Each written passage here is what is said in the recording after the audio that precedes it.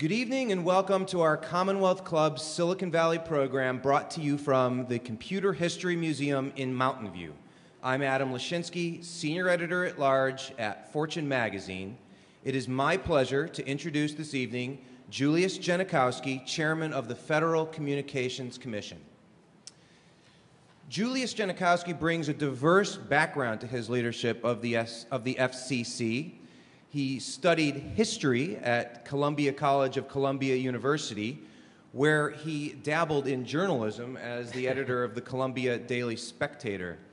He decided not to pursue a career in journalism, undoubtedly wisely, and instead studied law at Harvard Law School, where he was the notes editor under a uh, notable, a later notable editor of the review named Barack Obama, who graduated from Harvard Law School the same year. He served several uh, distinguished clerkships following law school, including for the Honorable Abner J. Mikva on the U.S. Court of Appeals of, for the D.C. Circuit, as well as for two Supreme Court justices, William Brennan and David Souter. He served uh, in, uh, on the Select Committee investigating the Iran Contra affair in the U.S. House of Representatives and later was chief counsel uh, to the FCC. He then became one of you. He worked in the technology industry for IAC Interactive Corp. Uh, and served on the boards of Expedia, Hotels.com, and Ticketmaster. He became a venture capitalist, founding, an organiz- founding a firm called Rock Creek Ventures, uh, during which time he was on the board of several startups, including Motley Fool. He currently serves on the board of Common Sense Media, a leading organization seeking to improve the media lives of children and their families. And in case there are any problems tonight, it is comforting to know that in college he was uh, an EMT at Columbia. True. Uh, please join me in welcoming Julius Genachowski. Thank you.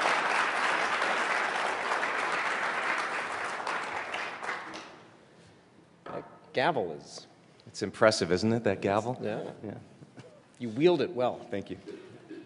It's my second time wielding the gavel. You get better as you go along.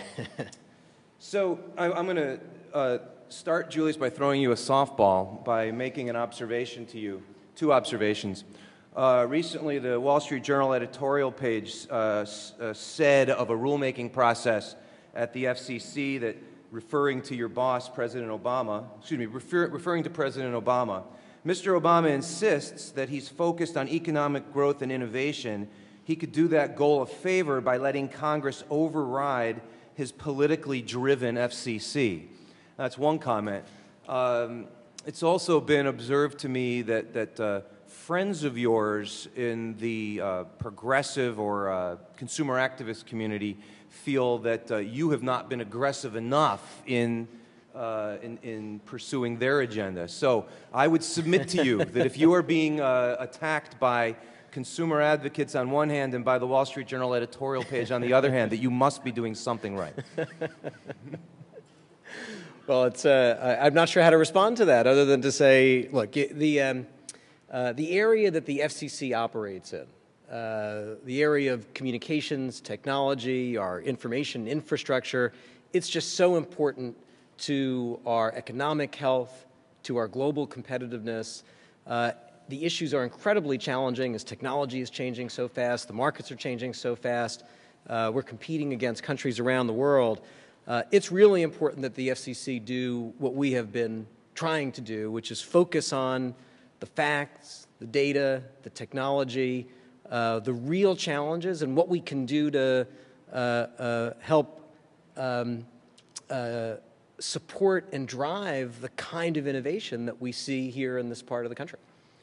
So I want to um, I want to suggest people that we keep in mind that, that you one of the first things you said was about the facts and the data. You've you, you've been accused, and I think you've acknowledged to being a pragmatist in, in your role the, as the FCC chairman.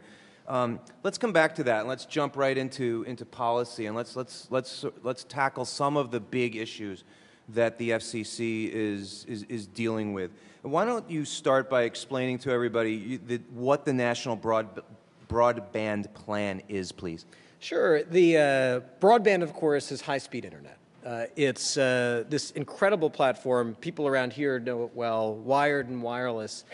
that's increasingly becoming the main platform for economic activity uh, in the United States and uh, uh, uh very quickly around the world, for driving solutions to some very hard national challenges like education and healthcare and energy and public safety. Um, we are not where we should be as a country when it comes to our broadband infrastructure. We can get into some of that, Adam, if, if you'd like. Um, we've never, until we did this plan, look uh, at this the way a company would and say, uh, what are our goals? What are the challenges? How are we going to get there? Uh, and that's what we did with the National Broadband Plan. Uh, and it, uh, we, we completed it about a little over a year ago. And we've been hard at work implementing uh, its key recommendations. The fundamental goal is to make sure that um, we harness the opportunities of high speed internet for our economy uh, and for driving uh, innovation and solutions to the issues I mentioned. Yeah, please. So, so please discuss a couple or three of the of the planks in the platform. And I'm I, am i am curious to know we're we're far far away from Washington here for you to explain the difference between things that the FCC can do mm. on its own versus things that it needs congressional help to do. Right. First, first let me lay out um, uh, something that kind of speaks to the overall challenge. There's an organization called uh, ITIF uh, that did a study of 40 industrial countries ranking each of the countries on the basis of their competitiveness and innovative capacity. And it looked at a relatively small number of metrics uh, uh, with broadband related metrics, uh, the deployment and adoption of high speed internet as key metrics. Uh, the study found that the US, on a snapshot basis, was sixth out of 40. Uh, which is it's interesting to see people's reaction to that. Sometimes uh, a lot of people have heard of the uh, OECD numbers that rank the U.S. 16th or 17th when it comes to broadband.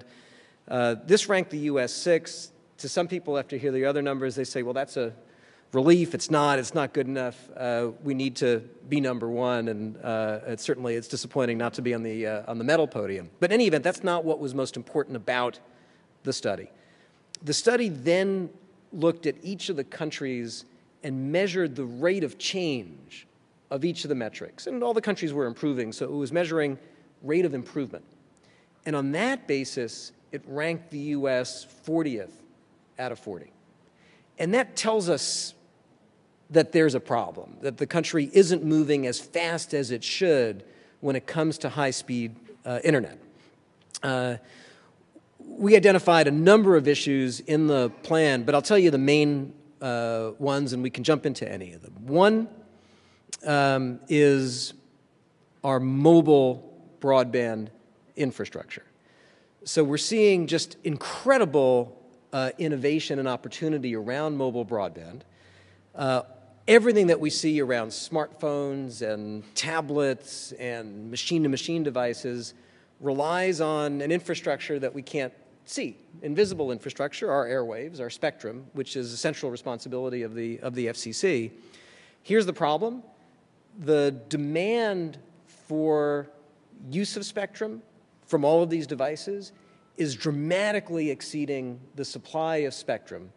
And we need to tackle that challenge and free up more spectrum for mobile broadband and do other things to, to, to make sure that we can fully seize the opportunities of mobile broadband. We can come back and talk about that, but that's one major thing. Um, a second is we have a whole series of programs designed to uh, accomplish the kind of universal service that we want for broadband because we want every American, wherever they live, every business, wherever it is, to have access to and to use high speed internet service. Um, the statistics are not where they should be. Uh, about 25 million Americans live in parts of the country that have no broadband access. Over 100 million Americans uh, don't subscribe when they could. So our broadband adoption rate is 67% in the US, 67%. That compares to, say, 90% for Singapore. Um, we have universal service programs. We spend about $9 billion a year as a country through programs that the FCC oversees. Those programs, by law and rule, are still focused on universalizing telephone service. Which you've said is, the, is, is a 20th century issue, not a 21st century issue. So we need to transform 20th century rules that focus on yesterday's communications infrastructure into smart, efficient programs that support uh, our 21st century communications infrastructure broadband. Mm-hmm. Uh, um, so why don't I stop there? Those are two of the central issues that we identified in the broadband plan. Sure. So we're the first part is part of the spectrum issue, which Yeah. we're going to come back to and spend a significant amount of time on. It's one of your major initiatives. But Mm-hmm. what do we do about wh- where is the problem on this telephone versus broadband issue? Sure. Well, we um, uh, the program continues to wake up every day and fund and support old telephone service. Uh, it's related to another set of um, policies and practices called intercarrier compensation. I don't, not going to, not worth going into the details, other than to say um, we still kind of operate in the sort of payment system and the regulatory structure around communications based on uh, old telephone service that assumed uh, long distance and local companies and money moving back and forth through that old system. Uh, we need to update that for broadband. Uh, what's happening now is the system is producing, in many cases, perverse incentives. It's deterring some companies from upgrading their networks to digital IP networks. And the program has also become uh, wasteful and inefficient. Uh, uh, uh, there are parts of the country that are um, uh, receiving more money than that makes sense under this program. Multiple companies are being funded in the same area. There are some parts of the country that are receiving nothing at all. We need to bring efficiency uh, to the program. Uh, we need to move to models for distribution of these funds that are based on, you know, basic market ideas. Reverse auctions is an idea. Have people come and bid to serve a local area for broadband. Uh, so it's a very complex set of rules and policies. The goals are simple. Uh, where economics won't support broadband infrastructure, which is typically our, our least populated areas. Um, let's have efficient public private partnerships that include those areas. Similarly, on adoption, um, where it makes sense to have government programs that help move the needle on the adoption rate, let's do that in a smart way. We're looking at all of those, and we're looking at the parts of the program that also help schools connect to the internet and help uh, healthcare facilities connect to the internet. Other than, from your comments, other than it sounds like maybe some companies are making money from the system the way it is and making the system work better might make it more difficult to have them make money. Other than that, this sounds like a technocratic problem that we should be able to study, analyze, come up with a solution, and, and make it happen. So why are we looking at it instead of doing it? Well, we are doing it, but, but um, let me tell you why I think uh, a, a lens through which to look at some of these problems that uh, helps uh, explain the challenges and what we need to overcome to make some of these changes. And, and uh, you know, a lot of people are here, here are, are, are, are probably familiar with a, a book called The Innovator's Dilemma. It's a Clayton Christensen book that looks at why market leading companies uh, can have a very hard time responding to disruptive technologies and disruptive competitors. And the basic thesis is that as a market leading company, you develop practices, dependencies on the existing ways of doing business that even when you know what, you're, what you should do from a strategic perspective to deal with new technologies and competitors, it can be very hard because you're not operating on a blank slate. You have to make moves with employees, technologies, business practices, et cetera. Uh, well, that's a pretty good lens through which to look at the U.S. in this area. You're You know, comparing the United States to a, an- an older, more mature company. the U.S. was uh, the market leader in the global economy in the 20th century. We still are. Um, we're facing disruptive new technologies like high speed internet and broadband, disruptive new competitors uh, um, uh, in Asia and other parts of the world. Um, we know in some areas what we need to do. Uh, we'll come and talk about spectrum. You, you, know, we just talked about universal service. Um, but we don't have the easy ability to uh, draw on a whiteboard and say, well, tomorrow we're going to start putting in place the new strategy because, like a market leading company, we have existing dependencies, processes, companies that um, are the consequences of our success. So, in the universal service area, uh, we know what an efficient, smart program to support universal broadband service would look like. To transition on a dime to that new program would be very disruptive to existing companies that employ people, that rely on the existing system, uh, and, so, and that uh, uh, uh um, uh, also uh, often have an interest in slowing down these processes. Um, so, from both a, a, a, substantive and a political basis, we have to tackle these innovators' dilemma challenges. Not ignore the fact that we have these challenges, and in fact recognizes that a lot of these challenges come from our successes in the 20th century. But we still have to make the changes. Okay, so, so you're making good sense about the what the problem is. So do we? Is it a combination of FCC rulemaking and congressional action to make that happen? It it depends on the area. You know, the our governing statute is the Communications Act. Uh, in many ways, it's a flexible instrument that gives us uh, uh, the flexibility to address communications issues even as technology and markets change. In some other areas, it doesn't. In the universal service area, we have the authority that we need to make the changes in the program, and we're deep into a process, and we're going to keep working at it, and we think over the next few months we'll be able to uh, significantly reform this program, put it on a smart, healthy, efficient footing. Uh, in the spectrum area, and the, uh, uh, some areas where we have the authority under the statute to do what we need to do. There are other areas where we need uh, congressional legislation.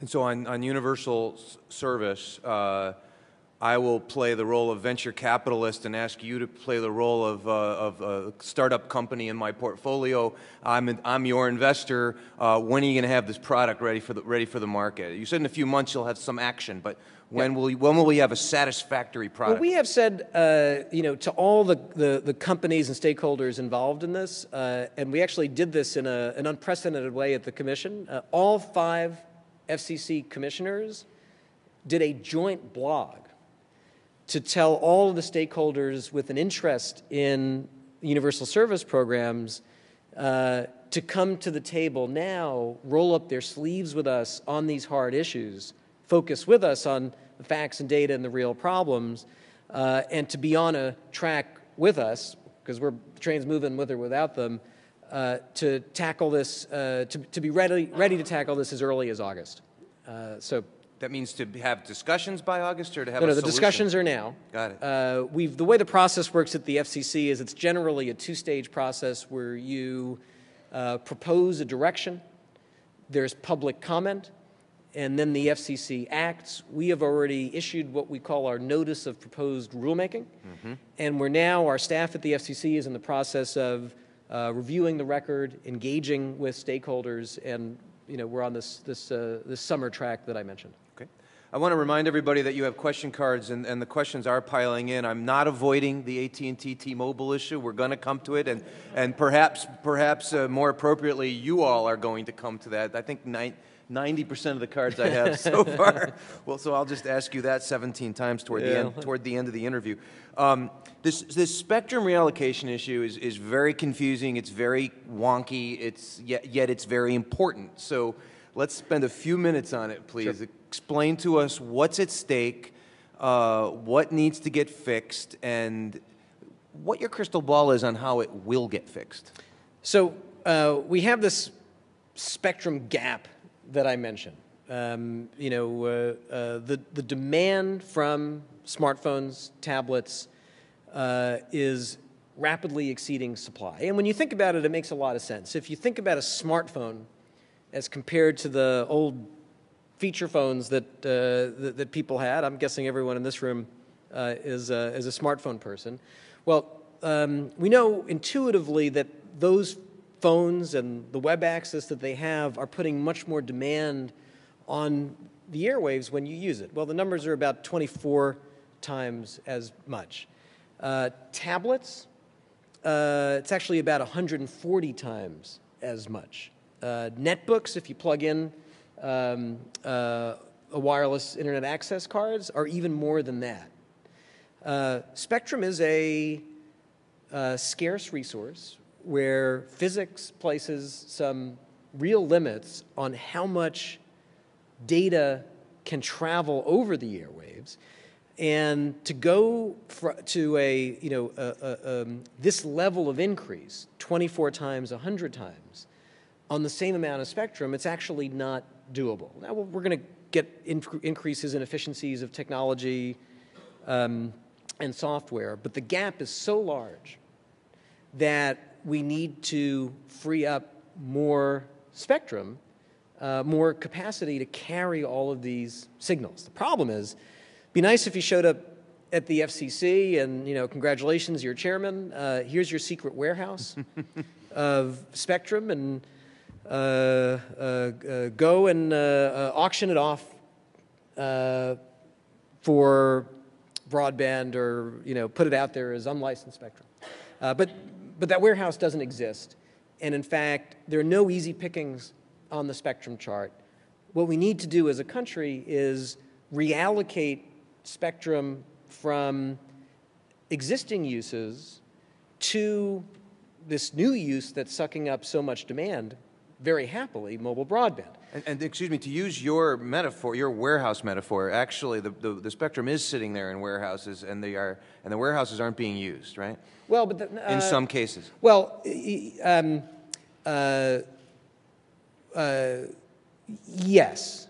Well, let, let me before you go on, let me try to unpack my own metaphor metaphor there, which is there are there are entities, including and prominently television broadcasters, who are sitting on who own spectrum or have leased spectrum would be a better way of putting it. Licensed they spectrum. Have, they have licensed spectrum they are not using. The rational thing would be to figure out a way to get them to sell it or give it to someone who does want to use it, right? Uh, Basically, yes. Uh, um, you know, we have a, uh, uh, an answer in this country to how we make sure that um, assets flow to their highest and best use. It's called the free market. The market, right? Uh-huh. Uh, and the core, and by the way, and since the early 90s, uh, free market principles, chiefly through the auction mechanism, have been introduced to the mobile space. So until 19, the mid 1990s,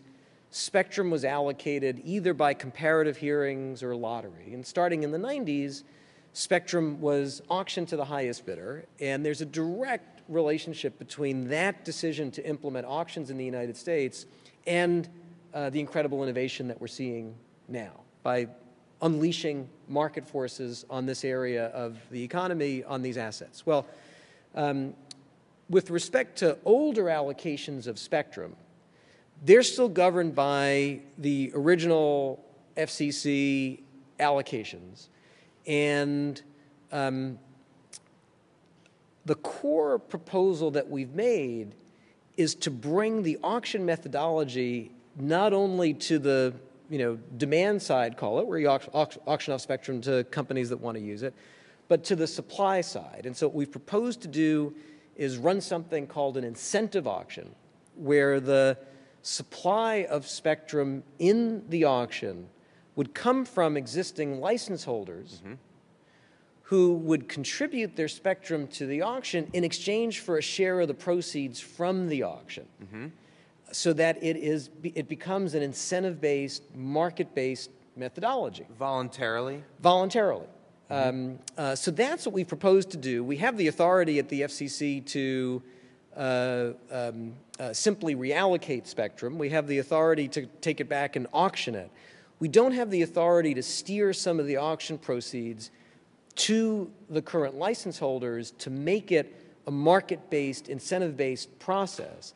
This is actually the best way to answer the question of how to make sure the spectrum is being used for its highest and best use.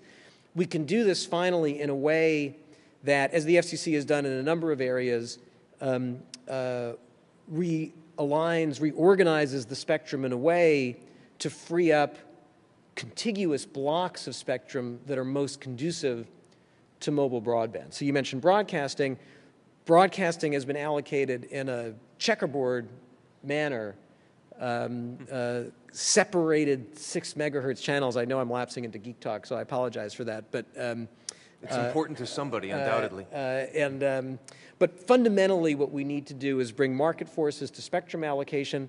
Uh, we need this tool. Just last week, 112 economists from across the, uh, the spectrum, so to speak, uh, Nobel Prize winners, economists who served in both Republican and Democratic administrations, endorsed this idea and said we need to do it. Um, uh, uh technology companies, consumer electronics uh, companies, the wireless industry has all said we need to do it. Um, there's been bipartisan legislation introduced in both houses. Uh, the president has endorsed this. So we're hopeful that this is something that can happen soon. Uh, it takes time to reallocate spectrum, even through a mechanism like this. And every day that we wait imposes real costs, and we're going to experience those costs if we don't tackle this through uh, uh, more congestions, dropped internet connections, um, uh, uh and just real frustrations for consumers and businesses uh, who rely on um, mobile broadband and who need robust mobile broadband to do what they're doing and to drive our economy. And uh, listening to you explain this again, it sounds it sounds reasonable, and it also sounds hopeful. Like there's like this could this could happen. Would the um, would the Chinese do, do, do this better than, than we do? And have they done this better than we do? It's a great question. This is the innovator's dilemma issue. Um, because countries like China don't have a history of 20th century allocations to deal with. But they also don't have this uh, de- the democratic rulemaking process and congressional process, so which is quite tr- tedious, right? True enough, but you know what? Uh, uh, uh, uh I prefer our system every day of the week. Um, but we should recognize as we wrestle with an issue like this that our global competitors, like China, uh, even putting aside the issue that you mentioned, um, can just um, they, they don't have to free up existing uses to meet mobile broadband needs. That's the race that we're in. That's why we can't wait. One of the things that, um, you know, is an example of what we should worry about in this area is, is this. Like, this is all about making sure that um, we take advantage of all the unique um, uh, advantages that we have in the U.S. that's produced a Silicon Valley, that's produced uh, the most entrepreneurial uh, um, uh, system in the world uh, and make sure that in the 21st century, like in the 20th century, century we're the world leader in innovation. Well, here's something that um, should make us nervous. A company from you know this part of the world, a company called Applied Materials, based here, very important technology company, last year moved its CTO and its technology operations from right here in Silicon Valley to Beijing. Mm-hmm. Uh, they're focused in the energy technology space, and they made the decision that that's where the action was in energy technology. To me, that's a canary in the coal mine. And we have to ask ourselves uh, how many technology companies have to make the decision to move their center of gravity and technology someplace else before we declare a crisis. We're leading the world in mobile broadband. Uh, we're by far the most innovative country in the world.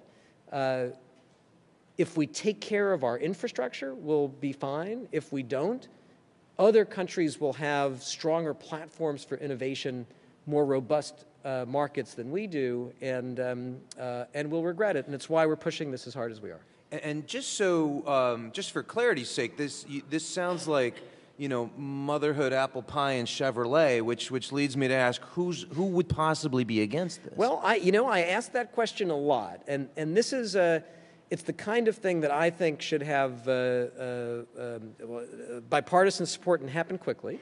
Uh, uh, uh, I spent a couple of days in Las Vegas earlier this week at the National Association of Broadcasters, and I said to that group the same thing that I'm saying here. Let's bring market forces uh, uh, to this area. Uh, we'll end up uh, with uh, both a stronger broadcasting industry and spectrum freed up for mobile broadband.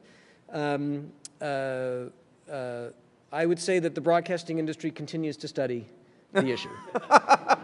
Uh, and um, uh, but we, we it's important for the country that Continues we to study is a Washington euphemism for they're obstructing progress. I, I uh, you know listen the uh, I think that uh, this is a win-win for broadband and broadcasters. We're going to keep working every day. We're having productive, uh, practical conversations with broadcasters. I'm an optimist, and and I think this is the right answer for the country. Uh, and the right answer for the broadcasting industry, and we're going to keep working at it. Good. Um, and uh, one last thing before we leave this issue of, of spectrum allocation. Is there an industrialized country that's done it well already?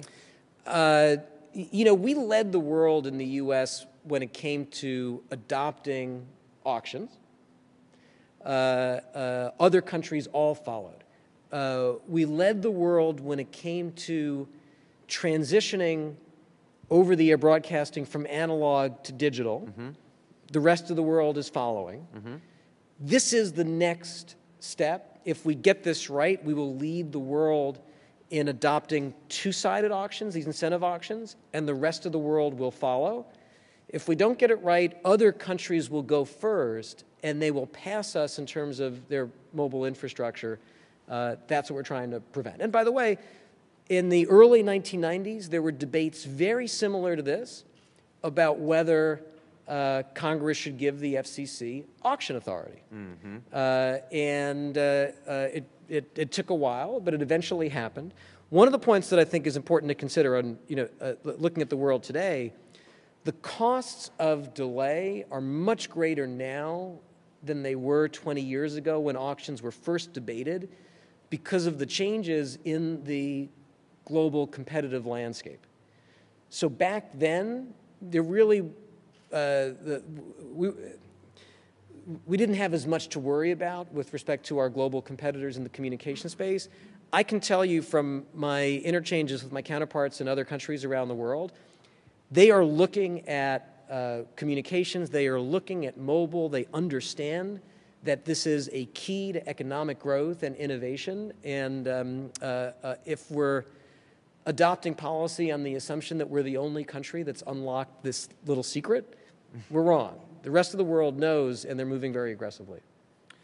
Now, I, um, I, at the outset, I encouraged the audience to ask challenging questions. And I was going to ask you my own net neutrality question, but this, the following just popped up at the top of my list, uh, which is seriously, how much political pressure did Verizon and Google throw at you? And let's just assume that you, by you, they mean the FCC, uh, on net neutrality castration. now, can you explain what the, the hostility behind this, behind this question? Uh, you, you know, I won't try to do that, but I do. Uh, look, the um, uh, let me start where you started, uh, uh, which is that every day the FCC is uh, under pressure from all sides who would like to see the FCC do one thing or the other. And one of the things that I learned quickly in the job is that if you uh, try to tackle policy issues by optimizing for you know uh, uh, uh, what makes a particular group happy, you, you'll fail. Because uh, one is, by definition, you can't make everyone happy. Uh, you know, there, there are many sides to these issues. And what we have to do, and this is our responsibility, is focus on getting the right answers to support uh, the goals that we've articulated. And this is where we, this is where you're being a pragmatist again, right? So, so some of your supporters are appalled that the FCC allowed the uh, Comcast acquisition of NBC Universal to go along. Others are appalled that any sort of that you did any sort of net neutrality rulemaking. Can you um, talk a little bit? Of, can you summarize where net neutrality stands? Sure. please? We, we uh, you know, when I um, was confirmed, we inherited a real mess around net neutrality. The agency had been um, enforcing net neutrality um, principles, but without ever adopting them as formal rules and without any clarity on what the rules actually were. Uh, uh, and it was a mess. Companies uh, on, you know, in any part of the broadband economy didn't have uh, certainty. Uh, the rules, in fact, were a mess and were subsequently su- struck down by a court. Um, we wanted, I wanted to make sure that we had a framework to preserve the freedom and openness of the internet that has led to the incredible innovation that we've seen, uh, that's empowered both businesses and speakers in the way that we all know for the last period of time, uh, and that also uh, encouraged the massive amount of investment we need in the infrastructure to have uh, high speed broadband. And um, uh, uh, we ran a, uh, you know, uh, quite a long process, 14 months from notice of proposed rulemaking to decision. In December, we adopted uh, a framework, open internet rules on the books. You can read them a little more than a page that lay out basic protections for internet freedom and openness, uh, and that bring certainty and predictability to an area that was a mess. Um, so that is uh, uh, uh the core issues are, from an FCC perspective, behind us. We've moved forward onto other issues. Basic protections for internet freedom and openness are now in, in, in place. And that means they're, they're, they're law. They're, these are rules that have been written and are in effect. Yes. And so, if, if I could, I'll try. I want to paraphrase what you what that means, and tell me if it's a fair paraphrase. So, what what the the, the balance you struck is that all companies, internet users, have a, a, a, right to access to the internet, but the companies that own the backbone, that own the networks, have an ability to make money off it. Is that a fair paraphrase? You know, it's, it's actually it's it's not unfair. We we protected the core right that we're all used to and that needs to be enforced to send and receive information on the internet, to put up uh, whether it's a uh, um, uh, content that you want to, messages that you want to get out, or businesses that you want to start, and have it reach the audience. Uh, uh, we protected those basic fundamental rights, uh, um, and we did it in a way that also, that, that didn't remove the incentives for the infrastructure companies to invest in our broadband networks. Uh, and we need both. We need, what do we need in this country? We need massive investment, private investment at the edge of the network, the kind of thing that we see here in Silicon Valley. Uh, it was very important to us to make sure that our rules uh, incentivized you know, not just the same levels of investment, but even more. Uh, it's an enormous competitive advantage for the United States. And the, excuse me, the edge of the network. An example of that would be a, a company that, that puts up a website. Right? Exactly right. Everything from a Google to uh, microphones.com. And thanks for, for, for keeping me uh, uh, out of the jargon, but absolutely right. The companies that are building applications, content, services on the platform, that are on using the internet. the internet. Exactly. We need massive investment in those companies. Uh, we also need massive private investment in the infrastructure, wired and wireless, because guess what? Um, uh, the government's not going to pay for 100 megabits to everyone's home. Uh, that's going to come from private investment on the part of infrastructure companies. The, the, the wonderful thing is that um, this, these investments help each other. So, uh, the more investment in content services applications uh, uh, of the sort that you mentioned, the more consumer demand there is for bandwidth, the more return the infrastructure companies can get to make the infrastructure faster and more robust. The faster and more robust the infrastructure is, the more that a new generation of entrepreneurs say, hey, wait a minute, um, let me see what I can do with 5 megabits, with 25 megabits, with 100 megabits. So in success, and I believe we did succeed, what we'll see is a virtuous cycle of massive private investment uh, throughout the broadband economy.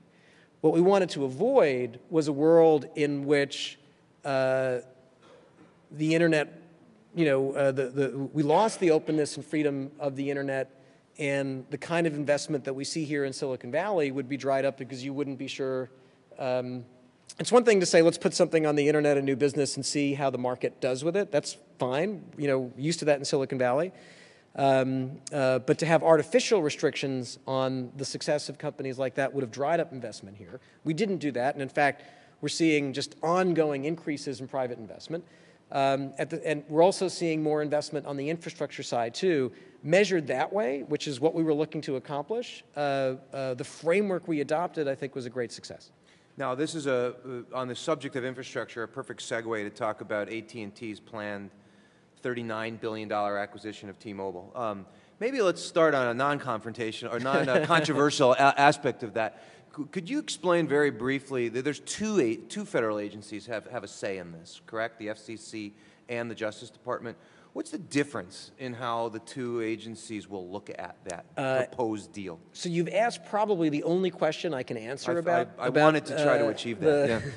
Because yeah. uh, I can. It's a pending transaction, and I and I and I can't talk about specific uh, reviews. But the uh, Justice Department is charged with enforcing the antitrust laws um, uh, we have the responsibility of determining that transactions um, uh, uh, that trigger FCC review are in the public interest. That's the language of the statute.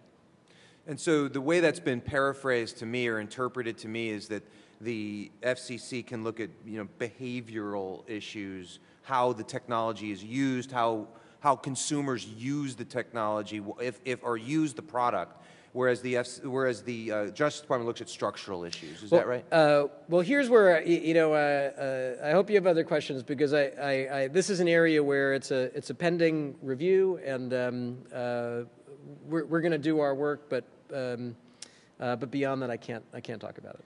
I do want to give you a flavor of the of the public's mood on on this uh, by asking by asking the following: uh, How can we make sure we don't get suckered by the by the AT and T intent to acquire T-Mobile by AT and T offering uh, a spurious carrot of helping with broadband deployment that AT and T already is doing to compete with Comcast and the Dish satellite TV network?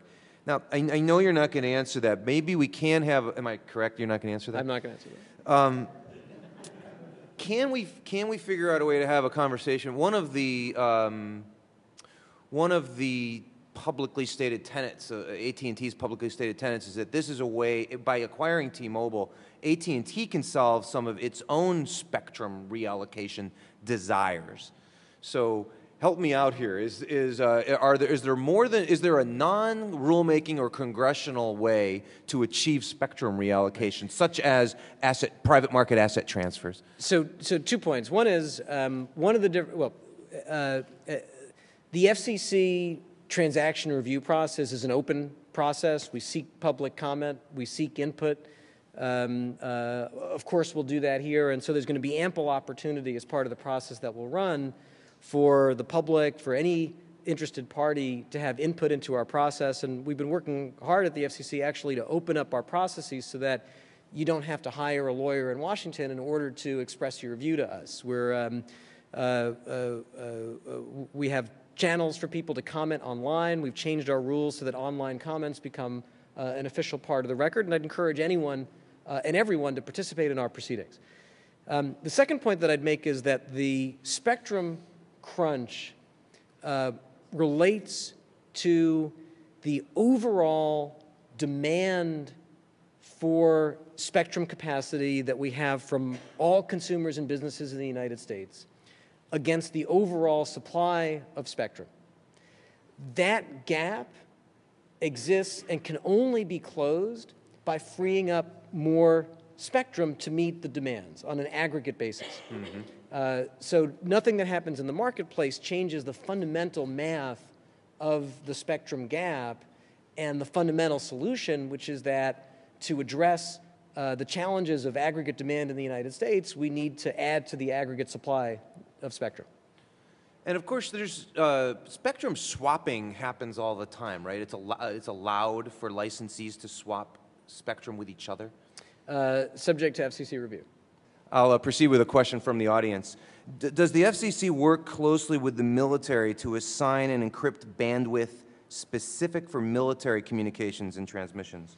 Um, no. The, the, um, uh, there's a significant amount of spectrum that's allocated to the military. It's managed by an agency inside the Commerce Department called the NTIA. So the answer to that question is no. It's a shame that the uh, people left the room for the following question. Uh, be because my husband has a brain tumor attributed to cell phone use, I testified with the FCC to Congress two years ago. FCC said, the FCC said they don't have scientific expertise to set the non-ionizing exposure limits. What can we do to finally get these exposure limits revised? Well, there are uh, FCC standards on emissions.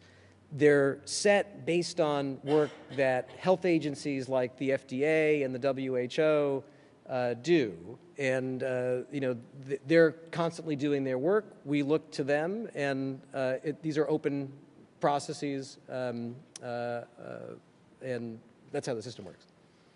Uh, a similar question. I'm not sure I'll get every word, but if I don't get every word, we'll just paraphrase. Pe people are wearing and using their cell phones while, while, while radioactivity in a pocket, which is against FCC compliance guidelines. Did that make any? Is it? Is I think it's. A, I think yeah. it's the same question. Uh-huh. Again, uh -huh.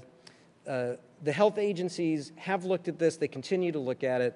The emission standards are based on the health research uh, that have been done. Uh, I'm confident that uh, that our standards are protecting the health of people, and we continue to look to the FDA and the World Health Organization on these kinds of issues. How do you use your cell phone, Julius? Uh, I use it like a lot of other people. I use it a lot. I, uh, but I mean, do you hold it up to your head for long periods of time? Not when I'm driving. Uh-huh. uh, That's a, uh, is that a? There's no federal law on that, right? I know it's no, it's state, state laws, but but you know, but this this is a very serious uh, safety issue. you know, the number of uh, injuries and fatalities from distracted driving uh, is incredibly high. Uh, and uh, you know, I, and I, my hats off to Ray LaHood, who's the Secretary of Transportation, uh, on this. We've worked with him to help uh, uh, uh, make this a national issue, to inform people about the dangers of distracted driving. This is as important as the drunk driving campaigns have been. Uh, I, am you know, I have a 19-year-old uh, young driver, uh, and uh, uh, it's it's a it's a very serious issue. It's also something that we're making progress on as a country, but we need to make more. Um, good. Are you concerned that an AT&T T-Mobile merger will delay or impact in any way FCC progress on USF reform? No. USF reform is what we were talking about before, Universal Service Fund. No, I don't think it'll slow it down. Uh, regarding net neutrality, why did you abandon your proposal for a, quote, third way? You know, we run... Uh, Explain, please, what that is. Oh, sorry, yeah. There um, uh, was a debate about where in the Communications Act we should rest open internet rules. And um, uh, there were some strong voices in the debate. We ran an open process, uh, thought hard about uh, the proper legal basis, and we ended up uh, with an approach that uh, uh, I'm confident will be upheld in court. It really is a shame that, uh, that I guess people didn't trust me to read their questions. In increasing numbers of people are experiencing health problems after smart meters are installed in their homes. When people complain about the problems, they are told that the meters meet the FCC limits. What are you doing to take these people's experience into consideration? This is slightly different from what we were uh, discussing uh, before. Well, fundamentally, these are the same questions, which uh -huh. is concerns about uh, emission standards and their effect on people. And the answer is the same. We have standards, they're based on uh, the health work, the research that's been done by the health agencies, uh, and that's how these standards are set. I'd like to know if you can do anything about the dropped phone calls on Sand Hill Road and Page Mill Road in, in, this in this area. You know, I had uh, I had exactly that experience today. We were in the car, and there are a couple of terrific people from the FCC staff who were here, Eddie Lazarus and Josh Gottheimer, uh, and and I actually I had that experience of uh, having a dropped call on Sand Hill Road. It, it actually gets to a larger uh, issue that is something that we've been engaged in at the FCC, which is um, uh, lowering, reducing barriers, speeding up uh, the deployment of infrastructure for broadband, wired and wireless communications. And um, uh, uh, around the country, the ability of um, uh, infrastructure companies to install the basic stuff that you need in order to get signals, antennas, et cetera, uh, in some places it's a lot harder than others. Uh, uh, and we need to find a way as a country to both uh, respect the uh, interests and needs of local communities, um, but also make sure they take into account the desires of people to have communications equipment that works. Now, I, uh, I understand that there's uh, real progress being made uh, here on Sand Hill Road. Oh, really? that's, that's, what I was, that's what I was told. in the first instance, these are issues for local governments and municipalities. Uh, we do look at it from a national perspective and ask whether there are um, uh, larger obstacles we can eliminate, uh, ways that we can make sure that um, uh, infrastructure is deployed everywhere uh, in a way that uh, gets people the service that they want. Um, and, and, you know, there's a lot of innovation going on now in the way that towers uh, or antennas look. And I think we, um, uh, whether it's uh, antennas on flagpoles or uh, uh, antennas hidden uh, among trees, there are a lot of answers to this, but um, there's no way to deliver uh, signals without the infrastructure that delivers signals. You, you, know, you travel around the country and, and, and confront these issues all the time. Is there another place in the United States where dropped calls are could, could possibly be more ironic than than, I, than there? Ironic is the word that uh, that comes to mind. Okay. Um, two, two political questions, and, and this first one may seem a little flip, but I think it's a, it's a legitimate question. Uh, uh, the questioner asks, why have you made so many trips to the White House, and how, if at all, do those trips reflect on the FCC's independence? You know, the, um, the FCC is the country's uh, expert agency for communications we deal with public safety. We deal with uh, issues that are central to our economy of the sort we're talking about, like broadband. Um, we consult with Congress, uh, with uh, the executive branch. Um, uh, it's important for the FCC to be a resource uh, to both Congress and the executive branch as policies are made that affect one sixth of the economy and the public safety of every American. You're saying there's nothing unusual with the FCC chairman visiting the White House? It, it, no. Not only not unusual, but appropriate. Uh, it's appropriate and it's recognized in the, in the Communications Act. Uh, Google sh recently showed a face recognition technology. Do you have any concern that this could violate privacy? Uh, I, you know, I don't. I, I, I, don't have a view on that. I think that um, uh, it's, it's, it's really important to encourage the incredible innovation that we're seeing in Silicon Valley and elsewhere. Uh, it's obviously also important to make sure that people's uh, basic fundamental privacy rights are protected.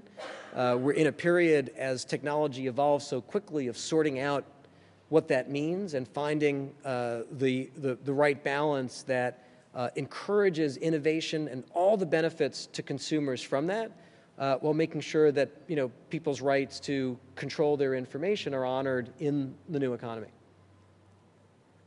I, I promised you two political questions, and I, I, left out the second one, which is um, how will the federal budget and deficit crunches uh, affect broadband deployment and adoption? And I might throw in there as well. I'm curious to know how it will affect the FCC. Uh, the um, you know, so the second question first. Uh, we have been from the day I got there and continue to be uh, very fiscally conscious when it comes to uh, our budget and spending money. Now, um, the FCC's work has generated uh, over $50 billion for the Treasury through spectrum auctions. And I think there's bipartisan support for the idea that we should continue to do our work to uh, generate not only that direct positive contribution to the budget, but also the very uh, broad economic benefits that come from uh, a healthy communications infrastructure and wireless communications, the, um, uh, the, the benefits are tenfold or more. And it's one of the reasons why, the, by the way, that um, I'm a very strong supporter of auctions as a methodology to allocate spectrum.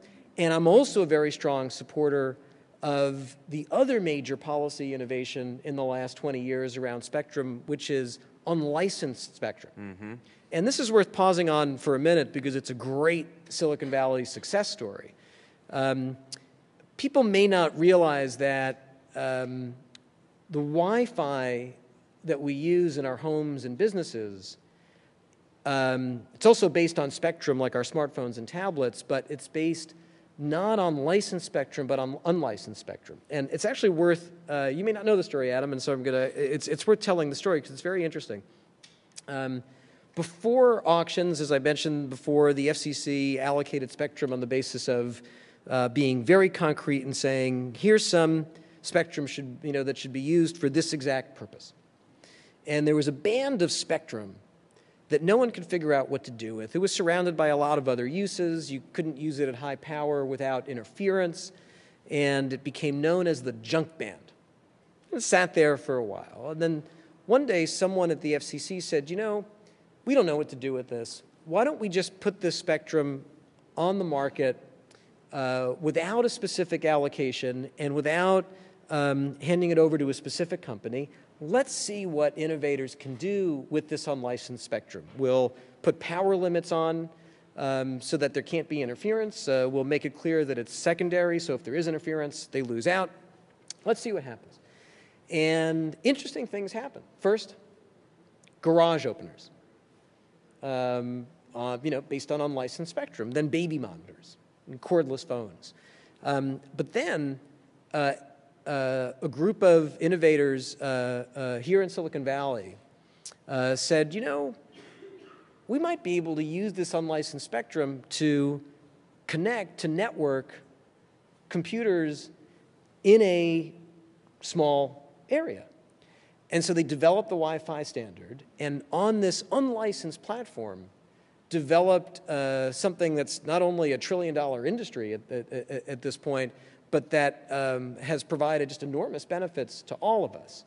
And to me, uh, healthy spectrum strategy for our country incorporates both um, auctioned spectrum by license and unlicensed spectrum. And in fact, uh, a few months ago, we did the first release of unlicensed spectrum in 25 years at the FCC um, called white spaces spectrum uh, uh, that will allow, uh, think of it as super Wi Fi, the next generation of Wi Fi uh, uh, with much better propagation characteristics. We're very supportive of this uh, and very interested in what Uh, the next generation of innovators will come up with on this new platform uh, for uh, mobile innovation. I just had a, a, great idea. Why, given our budget situation, why in the world would you release unlicensed spectrum? You had an opportunity to license it and make more money for the U.S. We, Treasury. Because we need to do both. And so the you know the incentive auction proposal that I mentioned will generate literally billions of dollars for the Treasury. It's one of the many reasons we should move forward with it.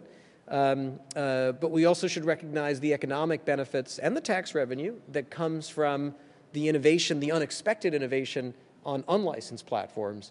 Uh, uh, that'll, you know, one, make a real contribution to our deficit over time, and two, it's another area where it's vital that those innovations happen here in the US and then get exported to the rest of the world, as opposed to having those innovations have happen someplace else and the associated job creation and economic benefits and have us be a customer of someone else's products.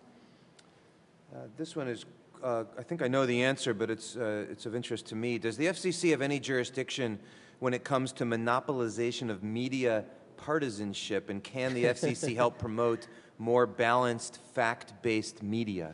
I have no idea what this person's talking you, about. You, know, uh, um, uh, I'm a very strong supporter of the First Amendment and basic free speech principles, and I think it's a really good thing that uh, you know we don't have a tradition in this country of uh, interfering with political content, and uh, uh, it's it's something that I uh, am passionate about. My perhaps my uh, brief history as a journalist that you alluded to has something to do with it, but um, we're we're going to honor the First Amendment very strongly at the FCC. But what, what role does the FCC have in that discussion of, of really, this person's asking about media concentration? So listen, uh, so uh, there are transactions that have to come to the FCC for review. The Comcast NBC transaction was one of them. It also went to the Justice Department, and um, uh, uh, we'll, we'll do our work in connection with uh, with transactions like that, as as you know, as we will in uh, other transactions. I have a question from a, uh, from a dreamer who doesn't want to listen to your, uh, your description of the uh, innovator's dilemma in this country. and it is if we were to look at, at demand for, for broadband and, and we were to re engineer the s- supply or re engineer the infrastructure, what and how would we build that infrastructure? If we could start from scratch. Um, well, if, if we could start from scratch, uh, we'd uh, have uh, a very significant amount of spectrum uh, uh, licensed for flexible use by auction, and we'd have a significant amount of spectrum made available for unlicensed use, uh, and we would let, in both cases, the market and innovators sort out the best and most productive uses of spectrum. I have, uh, I have one last question, which is can you share with us here an anecdote of uh, an, an example of something that uh, law student Barack Obama did as the editor at, at the, at the uh, Harvard Law Review? He was a he was a tough uh, uh, editor, I'll tell you that, uh, and a very talented uh, one. And um, and I don't I, I apologize. I don't have any specific anecdotes other than uh, that uh, you know uh, the the um, uh, uh, he was the person in our class most likely to become president. Literally. So that, that, that vote was taken? Uh, well, he, you know, I, I, I think the, uh, his election to become uh, president of the Harvard Law Review, I think, was the first uh, uh, uh, election that he won. really? I'll ask it a slightly different way. Uh, writers and their editors are famous for fighting with each other like crazy. Did you two ever have a knockdown, drag-out fight over something in the review? Uh, well, we were, we were both editors, so I see. uh, I see. You were um, on the same side. we were on the same side. All right. Well, uh, I hope you all enjoyed this evening's program brought to you by the Commonwealth Club uh, Silicon Valley. Again, we would like to thank Julius Genachowski, chairman of the FCC, our audience here in Mountain View, and those of you joining us on the radio. I am Adam Lashinsky, senior editor at large for Fortune magazine, and now this meeting of the Commonwealth Club, celebrating over 100 years of enlightened discussion, is adjourned. Thank you for handing me that.